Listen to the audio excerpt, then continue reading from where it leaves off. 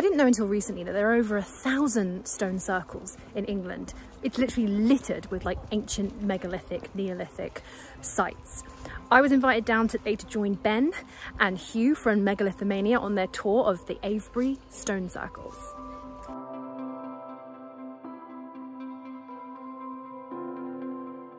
Well, first off, Avebury is huge. It, it, it is one of the biggest, I think it is the biggest henge megalithic Neolithic stone circle in England. Look at it, huge. And one of the cool things is that unlike Stonehenge, you can actually go up, right up close and touch the henge, be part of it, walk around. It's completely free to visit as well. So at the moment, Avebury is, um, it's winning. Yeah. Do we know where these came from? Yep. Can you see that far horizon line over there? Yeah. That's called the Valley of the Stones. So they didn't drag them far? Uh, well, that's another seven miles over. Oh, right, okay. You're the one dragging them. I mean, that's absolutely huge.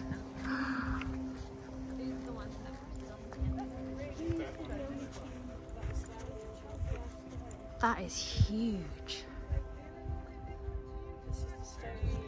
It does feel like a giant And just kind of picked up a load of bits of stone and popped them in a circle. Yeah, yeah, yeah, yeah.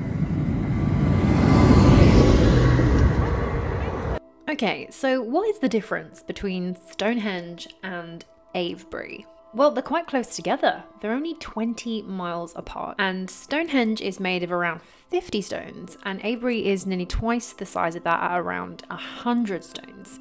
Avebury is officially dated around 800 years older than Stonehenge, uh, with carbon dating coming in at around 3000 BC to 2000 BC, and it was in a similar way to Stonehenge, made in stages. So lots of different generations, adding bits, moving bits, repackaging the site, if you know what I mean.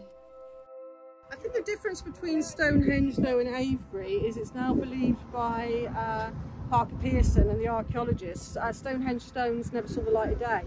They were buried and brought out from the surface to make it easier to dress. So I like that idea that they're sleeping in the ground, they're in the womb of Gaia, and then they come up to make Stonehenge. These were lying on the surface, therefore they've got a hard crust. So if you're going to pound them, you're going to have more work doing that to stone the crust on. Now, there is a huge ditch that goes all the way around. Literally, the current village of Avebury is inside the huge circumference of, of this henge. Excavations of the surrounding ditch show that its creation involved digging away nearly 200,000 tons of earth and rock and debris. That is a hell of a lot of earth to be moving, especially if you've only got little tiny stone tools. I mean, that's going to take you a minute. And there are indications that the ditch may have originally been filled with water. So this ditch is no no tiny little ditch. This thing is very deep. It is at least 8 to 10 meters deep and the water table is looking like it was at least 2 meters high. So the stone circle in the middle would have literally like like like a moat going around with a little island of like sacred stones. It would have looked amazing. Quick little history about the village. Obviously, this is a relatively recent addition to the site. It was first mentioned as Aveburia in 1180, and then Avebury in 1386, and the name Avebury first appeared in 1689. But today, many people still pronounce the name Avebury. Now, this is interesting. A Dr. Stukeley spent 30 years visiting, recording, measuring, drawing, and chronicling the great stones of Avebury and the surrounding landscape, and he believed that the central rings represented a serpent within a circle, whose head and tail were represented by two avenues of sarsen stones extending more than a mile into the countryside. Now, this is extremely interesting because there are many other ancient sites in the world that have a serpent theme of iconography, um, like Serpent Mound in America. Very interesting that on opposite sides of the world, uh, around the same time, um, everyone was trying to represent serpents. They are like a massive part of ancient imagery. I wonder why. What was the serpent representing, and why was everyone obsessed with snakes? That is was there's a, a, a guy spent like 30 years researching this and measuring it, he basically reverse engineered the megalithic scale that's that's used consistently to, to basically space out all of these stones and create these stone circles uh, everywhere, all- all around the British Isles, and it's and it's a system that's derived from like geodetic measurements. Like it's very precisely related to like the dimensions of the Earth. It's it's very sophisticated, and it's consistent across all of these things. So, yeah, crazy. And I think of all the ones, so these are the ones that are remaining in, in the British Isles and Scotland and Ireland and England. But obviously, 10,000 years ago, there was it was all connected to the mainland of Europe and there was Doggerland. And I'm imagining all the henges and shit that is just completely under the sea now, the North Sea. And do some sonar, figure those out. I'm sure they're down there. But, uh, yeah, I mean, they can't. They should do so. Few miles that way, so they were bringing them from there. But you do get, you do get. I mean, Fyfield Down's the main quarry, right? Yeah, Fyfield, Overton Down, Valley of the Stones. Yeah, uh, you do get the kind of sarsens around here a lot. There's Right. like glacial erratics, there's like just forms out around. That's where they bought some of the uh, there's Westwoods as well, further south, where they got some of the stones from Stonehenge from. It's the same, very similar,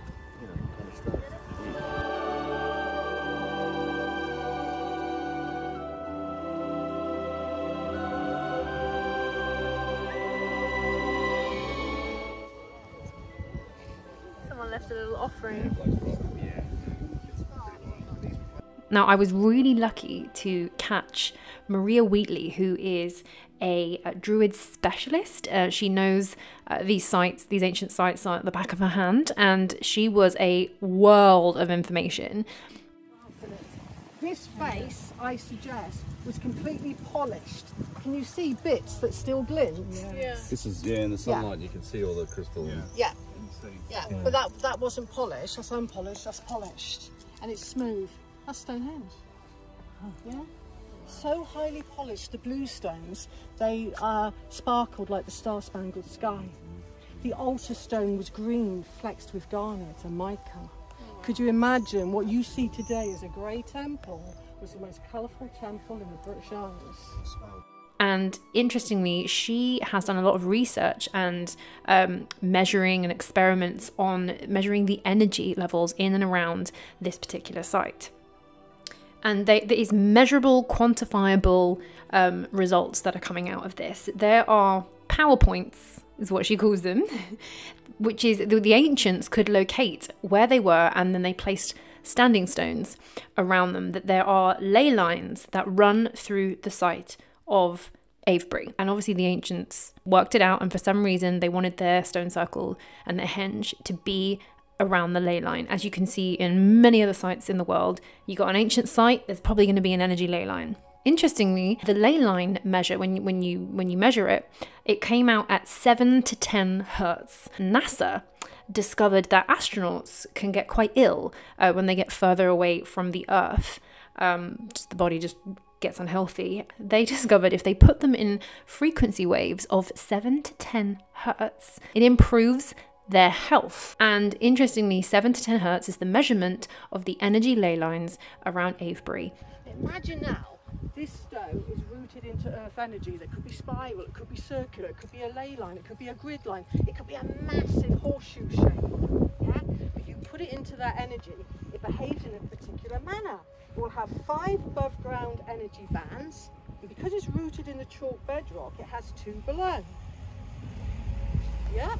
So they're like megalithic chakrams. Now, it is ridiculously hard to completely date stone circles because they've been exposed to the elements for thousands of years, and you can only really date carbon materials that have been found in and around and on the sites to get like a good thumb idea of, of when when is what. Now, something that I was surprised to learn about Stonehenge because it hasn't really been advertised a lot. I found a couple of articles about it, but two uh, archaeologists did some excavations way back in 2008 and they found on the site of Stonehenge some carbon material that dated back to 7330 BC. They're not saying that the stones were placed there, because that would be a pretty ballsy thing to try and say. But they did say that there clearly was activity, that this site in the world, this henge, was being used 7000 BC, which is thousands of years earlier than sort of previously allowed, which kind of calls into question all of the stone circles because obviously uh, before the stones there was assumably wood henges, and who knows how long they've been there for if they're constantly being replaced and remodeled. But the site has been used since at least 7330 BC, which is super interesting. Personal hypothesis and feeling about these ancient stones is yes, absolutely, they could be sort of religious temples, ceremonial temples. I have a feeling that these sites were observation centers. The fact that they have all these astronomical alignments clearly meant that people were studying the stars for whatever reason they needed to study the stars, whether it be safety, marking comets, marking times they were they were looking up and they were looking out for sure. And i think that these observatories were there for that reason. But i also think the fact that they are on the ley lines i think that there definitely could have been some sort of functional property that we are only beginning to tap into in this day and age we're sort of opening our minds and thinking like okay let's let's look at it from all different angles. And i think that the ancients were probably able to tap into natural resources in, a way that we could only dream of. Um, i've recently understood and looking into the research about grounding and how wearing plastic shoes is possibly one of the worst things the human beings can do to disconnect us from the earth. And i know it sounds like a whole load of hippie woo woo however I now, whenever I can, whip my shoes off and try and stand barefoot on the ground as much as possible, whether it's in my garden or whether it's out and about in the park, the beach, just literally putting your feet on a beach or putting your feet into the grass. Something quantifiable happens within our bodies. And i think that human beings are we're supposed to connect with the planet that we are living off and on. So that's like a mincy little bit of a an idea of the beginnings of what the ancient people could do. I bet that they could tap into the res- the resources I think this planet probably has for us and held for us in the past it's exciting. We're, we're, we're tapping into it a little bit now, or re tapping into it. And definitely think that these sites were not just, you know, pretty, pretty ceremonial things. I think that they had a function, and I think that they were observatories. Thank you so much for watching this video, and it's a little short one. Exciting things coming up. I am heading to the mecca of ancient sites. Uh, I'm going to Göbekli Tepe um, and Karahan Tepe and a lot of other ancient sites in ancient Turkey this October. If you would like to join me, I think we have a couple of seats left.